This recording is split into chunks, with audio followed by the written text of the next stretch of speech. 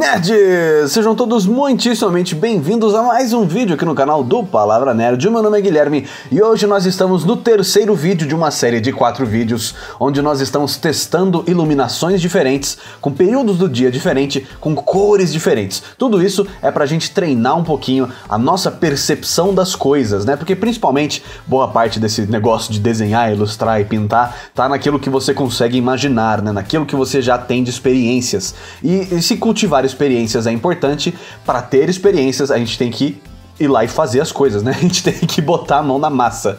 Então, esse é o objetivo dessa série, é dar aí um incentivo para vocês tentarem fazer um estudo parecido como esse. Pode ser mais simples, pode ser mais complexo, vai depender aí do que você vai estar tá afim de fazer. Eu tentei não ser muito complexo, eu tentei não ficar criando muitos detalhes, mas eu queria adicionar um número suficiente de elementos que eu pudesse realmente ali dar uma chance de descrever o período do dia e as cores que estão acontecendo por ali eu, eu acho muito legal nuvens e água como uma maneira de você conseguir representar as cores do céu, né? Basicamente, o que tá trocando de cor em tudo isso daí é o céu, né? Isso é muito interessante porque o céu ele é uma das grandes fontes de iluminação indireta dentro da sua pintura. Inclusive quando você tem uma pintura com dia ensolarado, né? O céu está sempre ali azulão ou não, né? Então, é, é, se tiver nublado, as cores vão diminuir, né? Você vai ter uma saturação menor e tu, tudo isso tem a ver. E o horário do dia, né? Vai tonalizar o céu de uma cor ou de outra, graças à diferença da posição do Sol. Uh, quer dizer, a posição do Sol, né? A posição da Terra em relação ao Sol, mas não vamos entrar nesse assunto. E então, tudo isso ajuda ali a criar uma diferença. E para você tentar aí capturar, né, todas essas variações possíveis, é muito legal que você procure uma imagem de referência ou filme de referência, ou alguma coisa assim que já tenha uh, essas cores, para você tentar analisar e entender onde é que elas estão ali no seu color picker, qual que é a transição que existe entre elas, tem um gradiente no céu ou não tem, né? Como é que isso acontece na água? Então, pensar sobre tudo isso é muito legal e vai dar um up muito maneiro para você. Uma coisa que eu tô querendo discutir aqui hoje, galera, neste vídeo, é sobre aquele papo de descobrir o seu próprio estilo, né? Qual que é o meu estilo de desenho? E eu falo muito aqui sobre estudar, mas não muito sobre desenvolver estilo. Então acho que vale a pena a gente pensar um pouquinho sobre isso, né? Provavelmente esse desenho aí está dentro do meu estilo, né? É aquilo que eu gosto bastante de fazer, apesar de ser um desenho já que já tem alguns meses, né? Que eu só agora eu consegui trazer para vocês. Mas uh, eu acho que é importante da gente, antes de entrar exatamente nesse assunto, é fazer um comentário sobre o estudo do desenho e o seu desenvolvimento como artista, né? Eu acho que existem duas partes para tudo isso que a gente está estudando e aprendendo, né? Uma parte que eu gosto de chamar de técnica e outra que é estética. Uh, não que elas sejam necessariamente separadas, mas uma delas é como se fosse o currículo padrão, né? São, um, eu acho que os fundamentos da arte funcionam nesse, nesse aspecto do técnico, né? Então, anatomia, gesture, a, como funciona luz e sombra, perspectiva, né? Aquela ideia de desenho sólido, todo esse tipo de coisa que são assim pilares básicos para você conseguir representar alguma coisa. Composição também é um super forte desses. Todos esses pilares base, né, da, da ilustração, seja ela digital ou tradicional. Uh, eles são assim um currículo que você meio que precisa saber, né? E cada. E lógico, né? O estudo é cíclico, você não vai simplesmente sentar um dia e aprender tudo. Agora eu sei, né? Que nem o Neo do Matrix, né?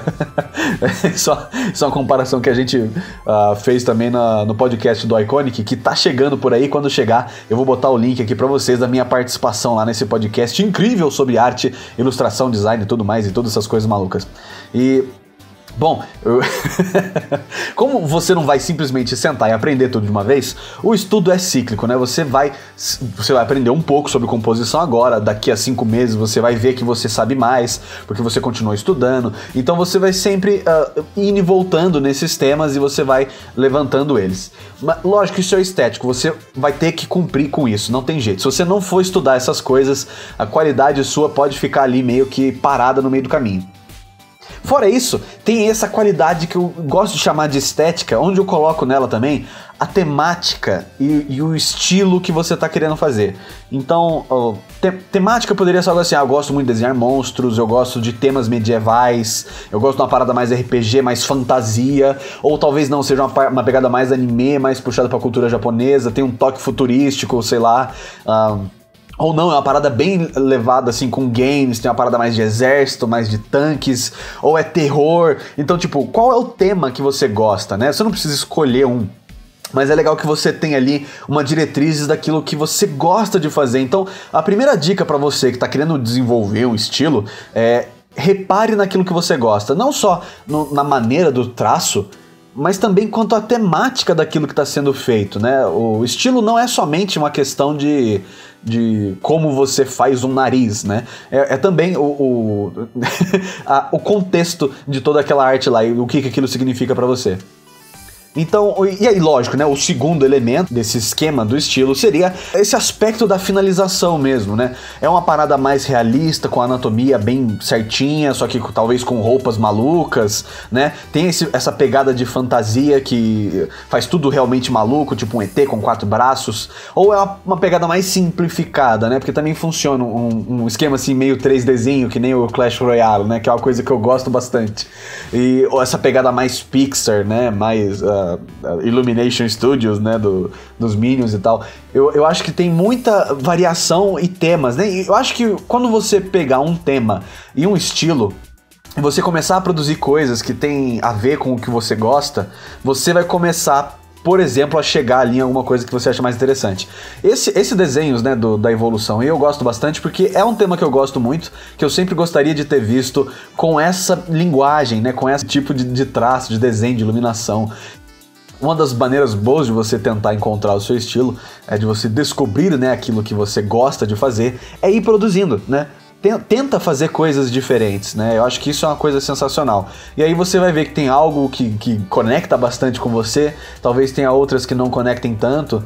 E o legal é você ir vendo, ah, realmente experimentando e ir cultivando essas experiências, né? Mas o, o, o jeito, galera, é a, é a frase e a frase mais importante aqui é a ação que vai levar você para algum lugar, né? Não é a, a necessariamente a contemplação a, demorada e, e, e, filosófica das coisas, né? O que será que gosto, né? É, é você lembrar daquilo que tem um impacto com você e tentar produzir ou reproduzir aquilo, né? E, e, sempre ir buscando essa ideia da ação. Eu gosto muito disso. Eu não sei o que fazer exatamente, faça alguma coisa. Pelo menos você tá ali despendendo, né? E gastando, né? Investindo um tempo para você des descobrir alguma coisa sobre você mesmo, né? Então vamos lá, galera. Vamos fazer, vamos desenhar, vamos botar a mão na massa, que é isso que, que dá alguma chance pra gente, né? Esse canal do YouTube aqui também, eu não fiz sabendo direito o que, que ia acontecer, como é que ia dar certo, se não ia dar certo. Eu fiz, eu fui fazer e eu comecei fazendo e de repente você vê que as coisas se transformam, né? De uma maneira que você antes pro provavelmente não teria antecipado nunca, né? Então é, é, muito legal isso, né? Você quando você começa a fazer as coisas, você pode ser surpreendido pelo que todas aquelas suas ações vão trazer para você de volta no final das contas. Isso é muito é muito legal ter é, reparar nessas recompensas que você está recebendo por simplesmente ter ido lá e fazer e, né, ter esse esse estalo de iniciativa. Que isso é muito importante, galera. E no último vídeo, né, eu perguntei se vocês iam gostar de ver um, um, um, review aqui do filme que eu tô tentando, eu tava querendo fazer. Esse é um estilo de vídeo que eu também sempre quis fazer um, um tempo atrás, né? Tem uma, uma, montagem muito antiga onde eu tinha colocado uma tela de televisão, tipo, de mentira, assim, do meu lado, e ali teria cenas do trailer, cenas do filme, eu ia comentar sobre o negócio também. Só que isso acabou que nunca aconteceu, né? Eu nunca fiz isso desse jeito. E, e agora que eu tenho a tela verde, um fundo verde, né, para poder fazer essas coisas, eu acho que eu vou eu vou tentar fazer uma parada meio diferente. E a gente vê, se vocês gostarem, eu trago mais, se vocês não ligarem muito, eu trago de vez em nunca, mas se for algo legal, talvez seja mais uma coisa aqui pra gente produzir no, no canal, né? E eu quero também fazer uma análise eh, quase que sobre o visual do filme também, não só uma análise sobre roteiro, história, né? Já que a gente tá falando de um canal de ilustração e desenho, né, que é que é basicamente o que acontece aqui, acho que a gente pode também tirar reflexões legais sobre a, o visual dos filmes.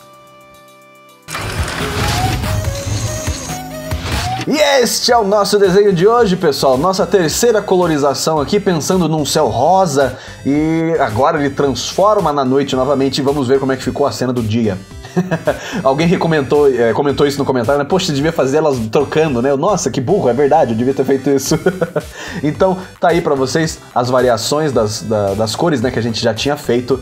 E eu espero que vocês tenham curtido. Falta só mais uma, que vai ser um dia mais ou menos nublado, mais ou menos assim, bem escuro, quase como se uma chuva estivesse para acontecer ou tivesse acabado de acontecer.